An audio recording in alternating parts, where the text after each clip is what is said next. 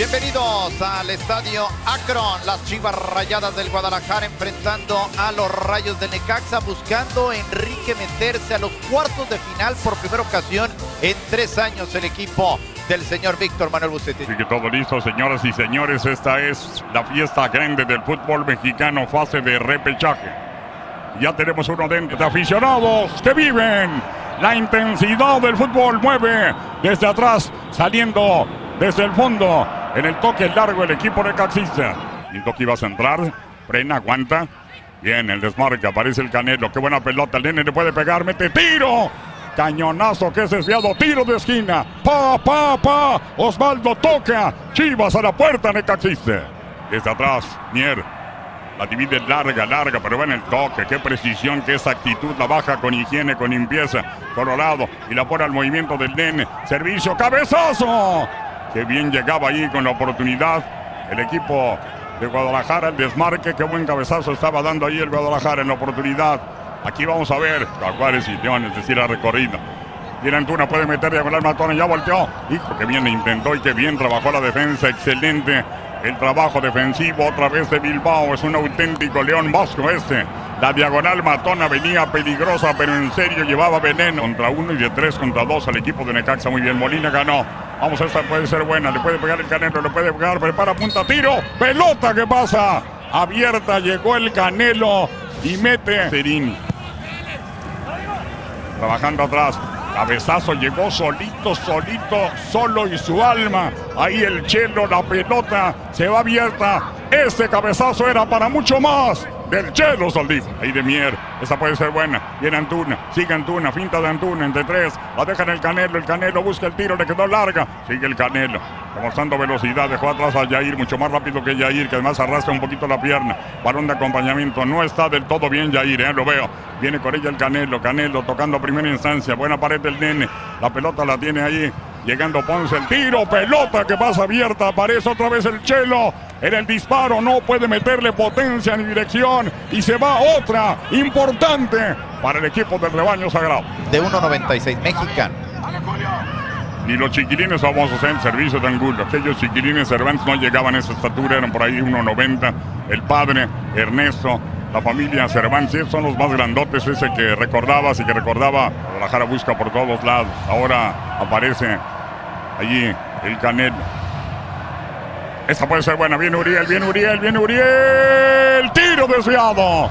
Pudo tocar diagonal, matón atrás. Venían dos hombres, venían cerrando dos. Prefirió el disparo. Que tiene atrás al equipo de Necaxa, aunque así lo está planteando el profe. Buscando un contragolpe, pero hasta ahora Guadalajara merece más. Ahí aparece el Cheto, pudo haber tirado de izquierda, prefiere abrir. Uriel, Uriel, Uriel. ¡Tiro! Y aparece excelente para cerrar Julio González para mandar el paraguayo. Tiro de esquina, pero sigue tocando a la puerta. Al frente para Guadalajara, dejan el cone. Se juntan los dos que juegan por fuera. Otra vez Antuna. Puede meter servicio. Pintó sobre la marca de Idequel. Sigue Antuna. Balón de acompañamiento. La vuelta que estaba dando ahí. En la intentona, el Chelo no logró el contacto. Pero el Chelo, que como aprieta de Caxa y tienen a nueve hombres marcando todos. Eso permite que nene arranque. Deja en Saldívar. La pared la tiene, la tiene, nene. Tiro. ¡Metal! ¡Metal! Llegó el Tiba. Llega el Tiba a fondo en la pared. Llegó el zaguero central. El Tiba en una pared. Llega frente al marco y la estrella en el metal. El Tiba iba a hacer el gol. Osvaldo y es algo que tiene que ocurrir, la llegada de los centrales para desquebrajar una marca. Vuelta acaba de dar. Vamos a ver si le pega la pelota. Abre para el Cune. El balón para el Cune. El impacto finalmente se va desviado. Pero ahí está el Cone Brizuela de arranque en este segundo tiempo, Osvaldo, generando la primera. Sí, señor. Aquí está la proyección larga de Molina. Atención que esta puede ser. Hay demasiada soltura. Aquí está Antuna. Antuna se mete a zona de riesgo. Le monta ese servicio, pero lo deja. Estar en su casa disfrutando el partido, pero si hay un palco con bastante gente. Ahora mismo lo voy a averiguar, Paco. Perfecto, aquí está el Cone. Vamos a ver a Brizuela buscar Paco. individual. Atención, se mueve por ahí Sánchez el servicio por parte de Brizuela. ¿Qué hace el Cone?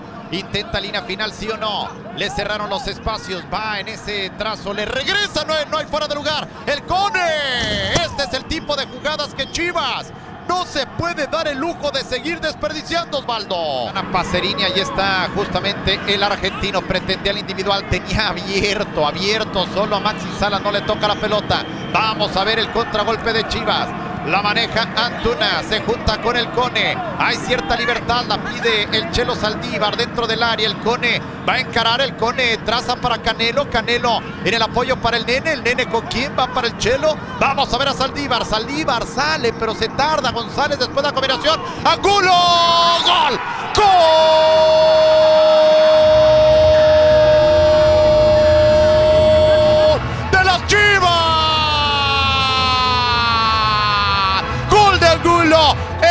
Demasiado, demasiado tirarse atrás y demasiadas las opciones por parte del equipo del Rey Midas de las Chivas Rayadas del Guadalajara. Una tras otra, una tras otra hasta que finalmente tiene que ser Angulo el que tiene la contundencia. Recordando de dónde surgió, recordando de dónde llegó.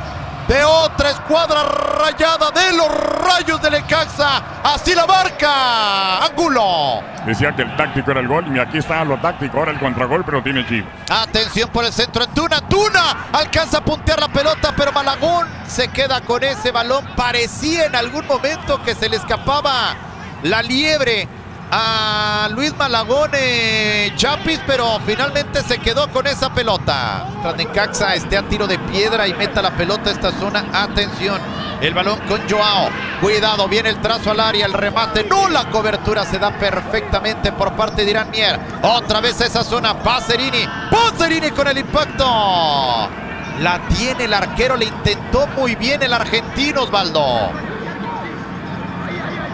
Sí, la intenta muy bien y por ahí está Necaxa. Que busca el individual. La pelota para Joao. Tiene posición de servicio. Decide el cambio de juego para Leiva. A Leiva se le complica el control. Alcanza a filtrar ese balón. Regresa. Para el impacto por parte de Yerko. Pero la pelota se va desviada por lo menos. Por lo menos ya están terminando las jugadas los necaxistas, Osvaldo. Tiene una de apremio. Una más de apremio sobre la meta de Gudiño. La tiene por acá Leiva de Yerko para Idequel.